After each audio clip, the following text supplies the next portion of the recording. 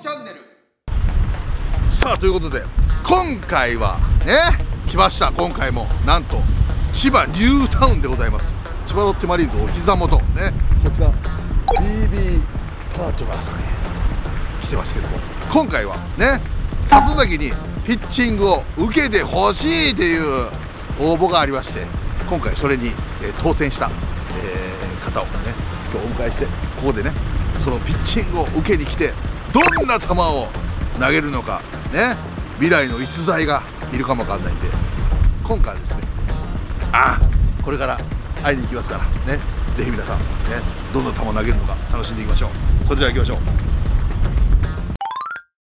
はいということで今回ピッチングを受けさせてもらえる選手はこちらの方です。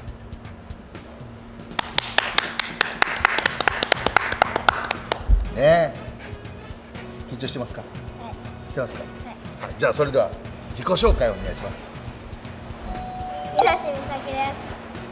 何歳ですか？8歳です。あ今年小学校3年生ですか？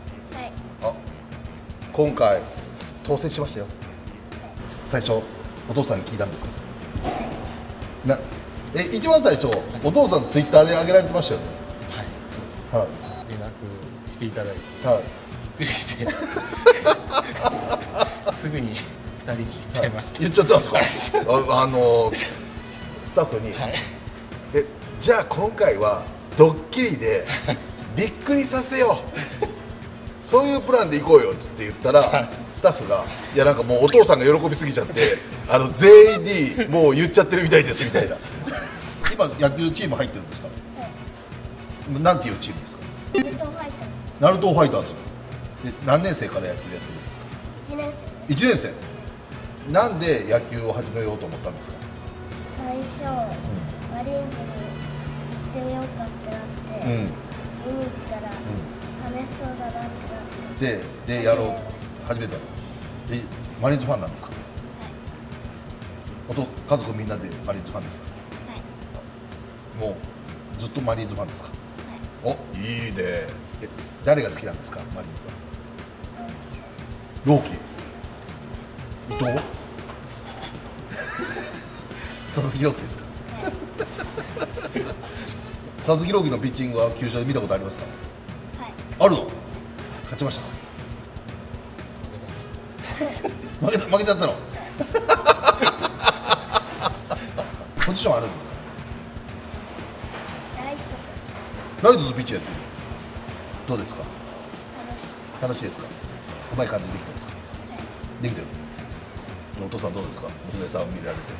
最近ようやく初ヒットが。あ出たんですか？えー、すごいじゃん。僕はツイッターで見たんですよ。はい、一番最初。応募する応募してこられたんですか？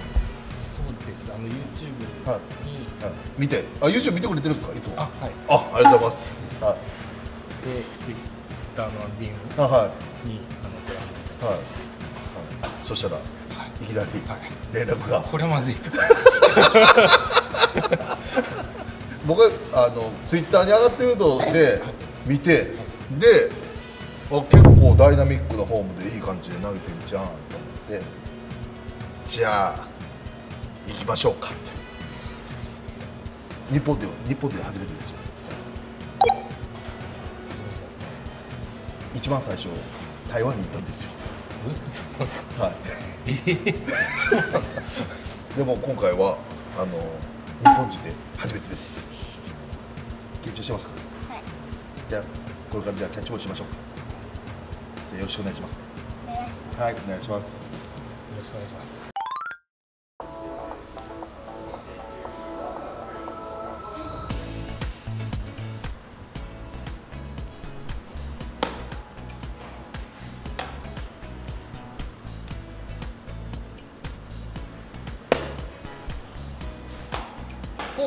教えてもらったんですか？動画見ながら？いいねいいねいいね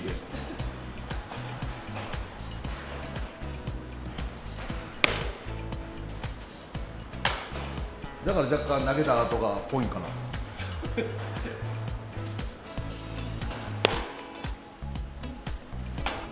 じゃあいきますよ。これぐらいの距離ですか？距離は。結構遠いねます。はいお願いします。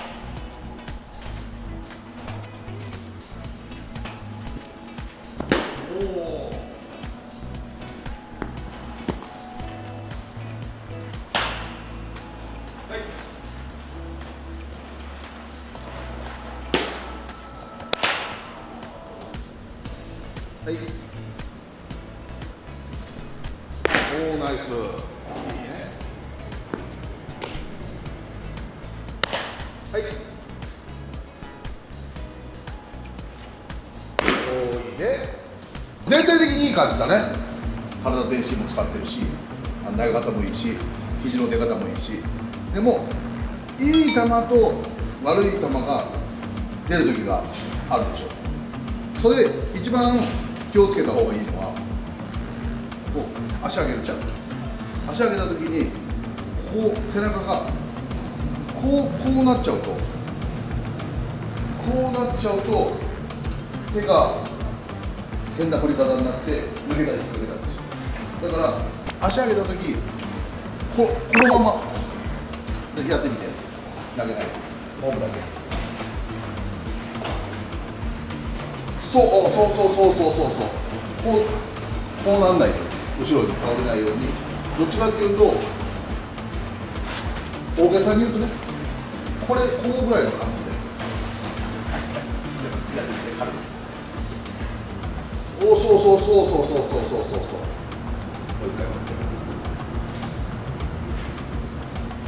回おそうそうそうそうそうそれで開いてもうちょっともうちょっと高く上げて。みるか肩のラインだ低いままであるけどもうちょっと出してこのぐらいのおそうそうそうそうそうそうそう。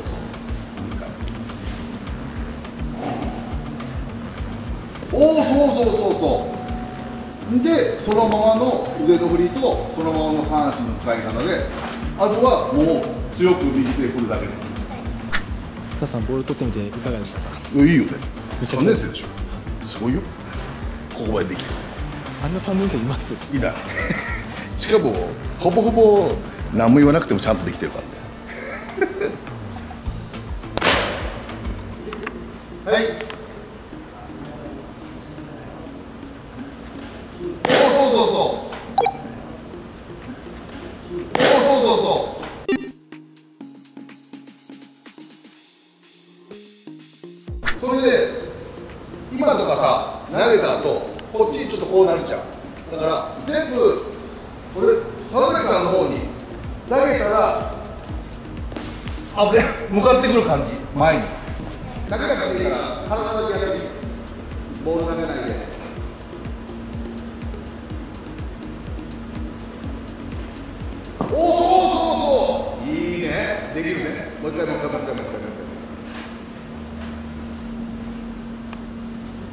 そうそうそういいねオッケー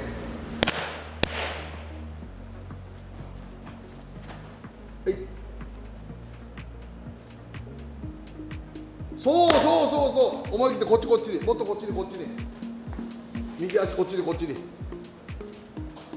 パワーロスしちゃう。パワーロスしちゃう。はい。そう。そう。あ今の今いいね。いいねいいね。それそれそれ。そうそうあ今の今いいそうなるとあ安定する安定する。もうこここっちにしか来なくなる。そうそうそうそうそうそうそうそうそうそうそうそう。いいねナイス。そうそうそうそうそうそうそうそう。それでまっすぐまっすぐ。じゃあと3球にしようかな。疲れちゃうから。あと3球。はい。そうそうそうそうそうそう。悪くない悪くない。強くなった強くなった。悪くない悪くない。いい感じ。はい。OK ラスト。さあ来いそうナイス。オッケーあとはいろんなことをやっていれば徐々にやっていったらうまくなるので続けていってくださいね。いいですか？じゃあバッティングやります？バッティングもやりましょうか。ちょうどあるからね。じゃあバット持ってきてください。全部やろう。せっかくだから。バッティング編。バッティング編やろう。もっとヒットが打てるように。そうもっと人が打ってるように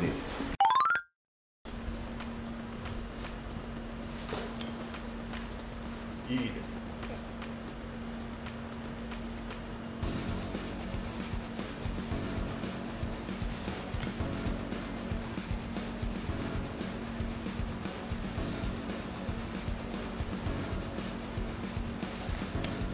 いいね。いい感じだね。もうちょっと両方足の親指に力入れてで右腰をもうちょっと回すイメージ。こっちの腰で。はいでもう一回やってお今の今の今の今今の感じ今の感じ。お今の今の今の。もう一回もう一回今の感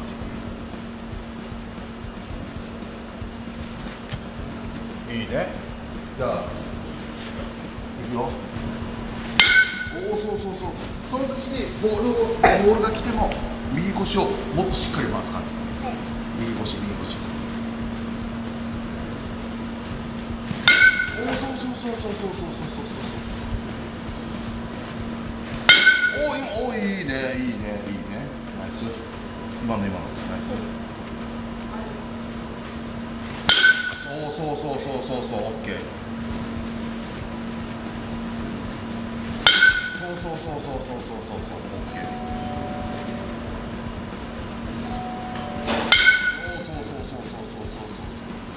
体重移動してでできるだけここでここで回っていって回っていって踏ん張ってから最後上げるんだったらいいけど。か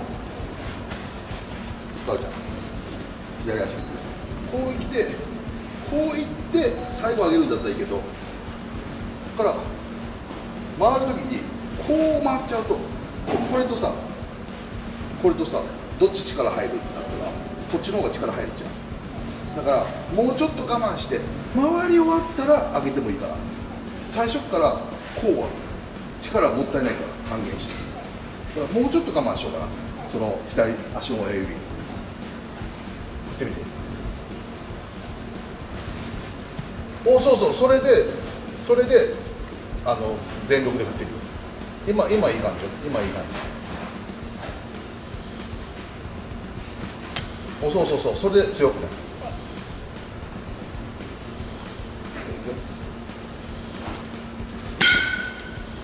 そうそうそう。強く強く。それでいいから。意識して。はい。おおそうそうそうそうそうそうそう。でもうちょっと右腰回そうかな。おおそうそうそうそうそうそうそうそう。おおそうそうそうオッケー。じゃあ佐々木さん見込みしてあげるから。佐々木さん投げて。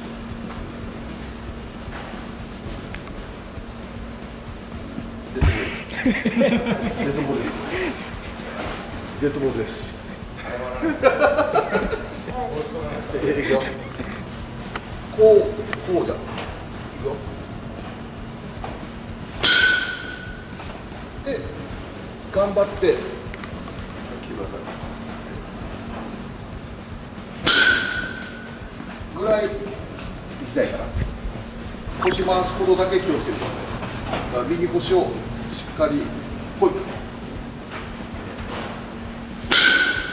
っかり回すができたらいい回転で打てるんで。はい。じゃあもう一回下げておおそうそうそう。OK ナイス。ラスト。おおそうそうそうそう。いいね。いい感じだね。そんなにいいスイングなのにやっとヒット打てた。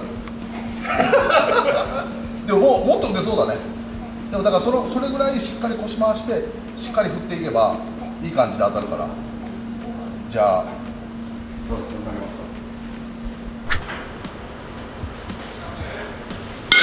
おいいいじゃん。右腰しっかり回して。おおナイス。オッケー。右腰しっかり回して。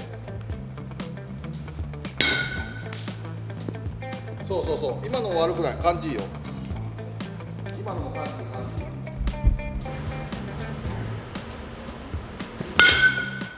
いいよナイスいい感じしっかり取られ取られてるじ。ゃんあヒットになるかどうかはさ守ってる人もいるからさなかなか分かんないけど自分の形でいいスイングする方が大事だから。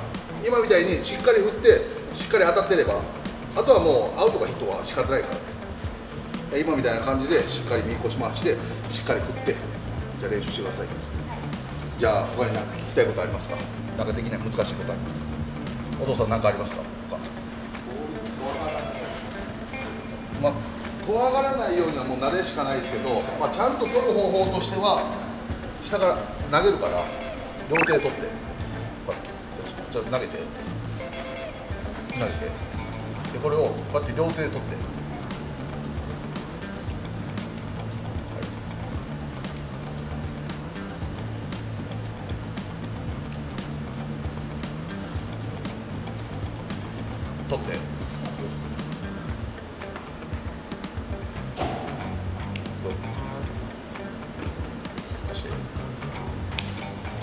両手で取って言うとこう取るじゃんね。っていうことはこれの方が力強く取れるからこうやって取るんだよね。ちゃんと取れるから。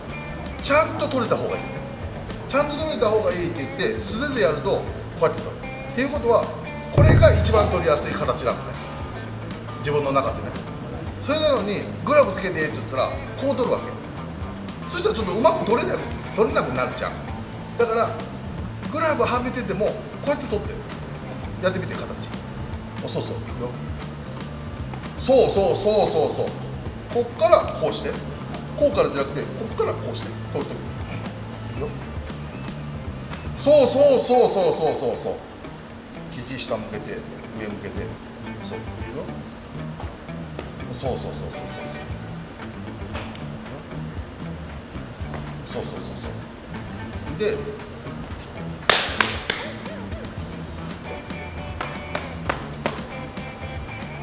親指こうやってそうそうそうそれが一番いいところいくよフライもこう上がったらその形で自分で上に投げて取ってきて自分で上に投げてそうそうそうそうそうそうそうもう一回そうそうそうそうそう。そうそう。それが一番自分のいいところだから投げて。フライが来てもそうそうそうそう。そうそう投げてフライが来ても同じ形でそうそうそうそういいねその時はで取っていくと自分の一番いいところに取れるからそれはじゃあやるときに練習するときにしてみてくださいいいですかはいどうどうでしたか楽しかったですか？はい。だからまああの一番大事なのはうまくできるかうまくできないかよりも楽しくあのやることが一番大事だから。まあプロ野球選手もみんながみんなうまくできないじゃん。ミスもするじゃんね。でも楽しんで野球を続けてでたまにマリンに行ったら楽しく見てください。いいですね。じゃああのできることだけでいいんでね。あの続けて練習してみてくださいね23年したらちゃんとできてるか見てください。はい。頑張ってくださいよ。じゃあそれでは今日はありがとうございました。じゃあ頑張ってください。どうでした？かやってみて。楽しかったです。楽しかったですか？はい。指導はどうでした？か分かりやすかったですか？はい。一番何を参考にしてやっていこうかなみたいな